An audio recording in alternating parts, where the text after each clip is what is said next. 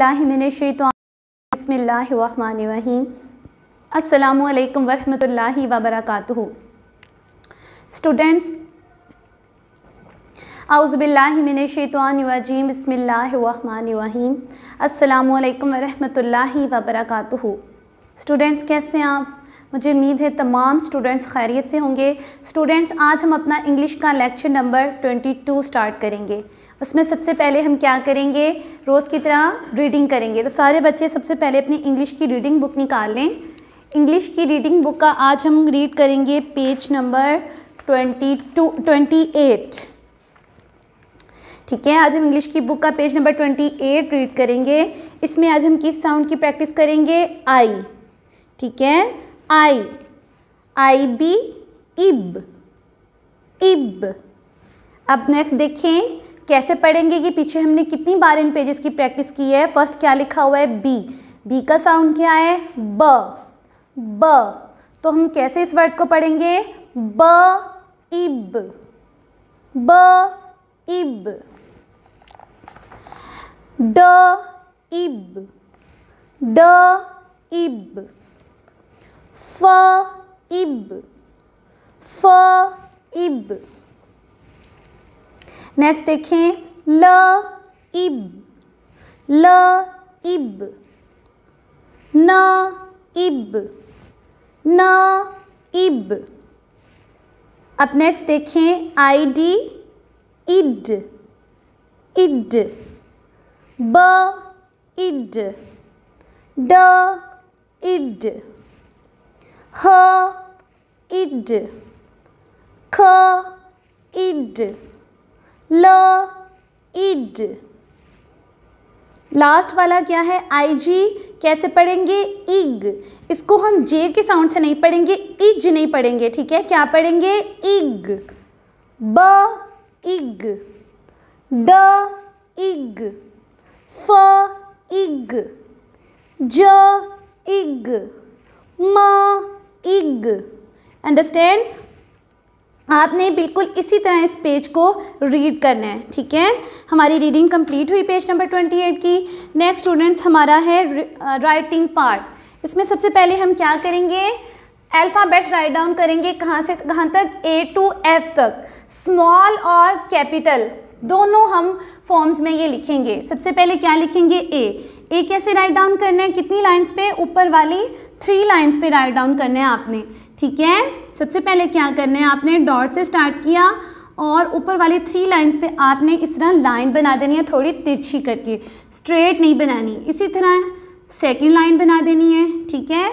और इन दोनों को हमने आपस में यूँ मिला देना है। ये क्या बना? ए ए के बाद स्मॉल ए कैसे लिखना है? बहुत बार मैंने ये प्रैक्टिस करवाई है।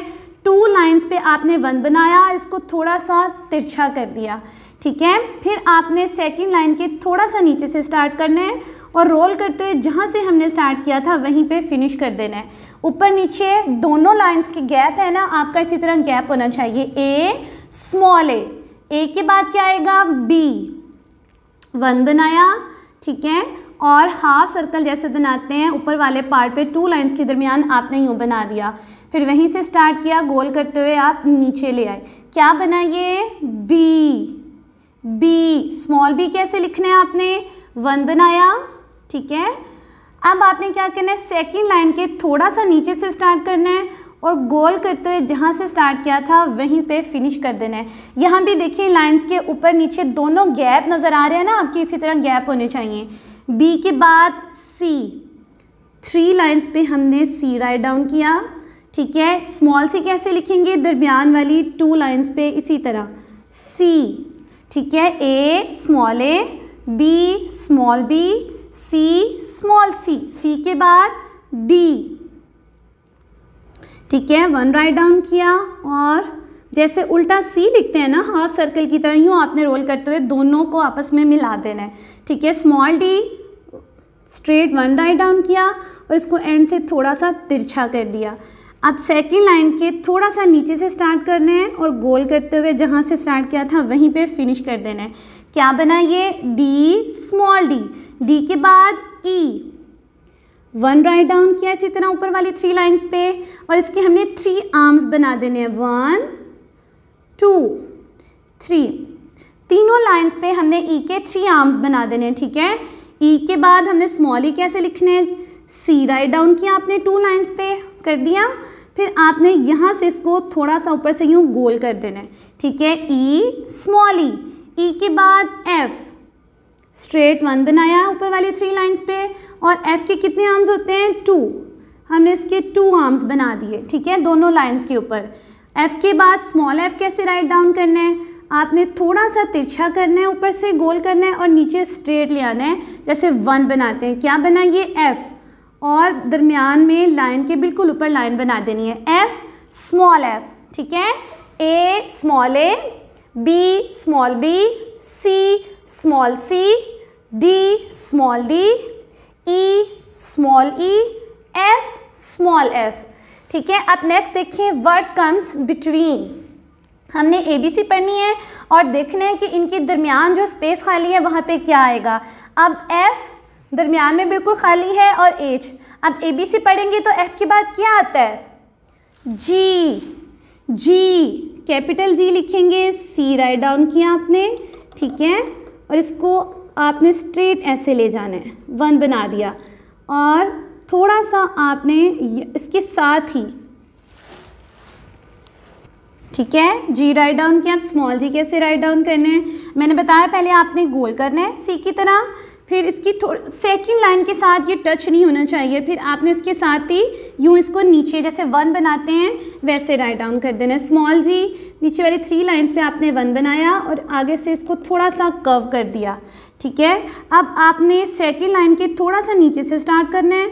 और गोल करते हुए जहाँ से हमने स्टार्ट किया था, वहीं पे आपने फिनिश कर देना है। क्या बनाइए स्मॉल जी ठीक है? एफ़ जी एच अब के डैश एम बिल्कुल खाली है यहाँ, क्या आएगा ए बी सी पढ़ें तो? के एल एल कैसे राइट डाउन करना है? वन बनाया आपने स्ट्रेट और लाइन के बिल्कुल ऊपर लाइन बना देनी है इसके साथ ही। एल एल के बाद स्मॉल एल वन बनाया स्ट्रेट ऊपर वाली थ्री लाइंस पे और नीचे से थोड़ा सा इसको यूँ कर्व कर दिया.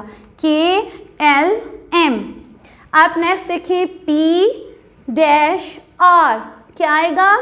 पी क्यू आर सबसे पहले कैपिटल क्यू बनाएँगे आप.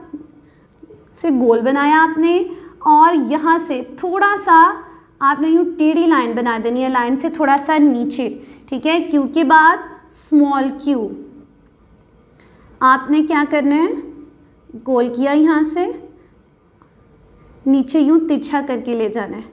और यहाँ से थोड़ा सा कर्व कर देना है। लाइन के साथ टच नहीं होना चाहिए, ठीक है? Q P Q R U dash W U के बाद क्या आएगा? ए बी सी पढ़ेंगे तो वी वी ठीक है? दोनों हमने वी का एक पार्ट यूँ लाइन लेके आनी है तिरछी करते हुए थर्ड लाइन तक। थर्ड लाइन से दोबारा हमने दूसरी लाइन ले जानी है यूँ तिरछी करते हुए। इन दोनों कॉर्नर्स को आपस में मिला देना है वी इसी तरह स्मॉल वी तिरछा किया टू लाइन्स पे और सेकेंड लाइन से स्टार्ट करते हुए फिर आपने यहाँ ले आना है इसे। वी यू वी डब्ल्यू समझ आ गई कैसे हमने फिल करना है? F G H K L M P Q R U V W capital और स्मॉल आपने दोनों लिखने हैं। अब लास्ट अपना क्वेश्चन देखिए। मैच द सेम वर्ड ठीक है? हमने सेम वर्ड मैच करने हैं। जैसे फ़र्स्ट क्या लिखा हुआ है? फ इन पी आई एन फ इन फ इन यहाँ पे हमने ढूँढने कहाँ लिखे हुए हैं? सेम स्पेलिंग्स फ in P I N same है ना? फ इन फ इन हमने इन दोनों को मैच कर देना है. पिन पिन सेम वर्ड्स को आपस में मिला दिया. नेक्स्ट क्या है? ड इम डिम ड इम डिम ये दोनों वर्ड्स हमने आपस में मैच कर दिए. एक जैसे जिनके स्पेलिंग्स हैं, वो हमने मैच कर देने हैं. लास्ट पे क्या है?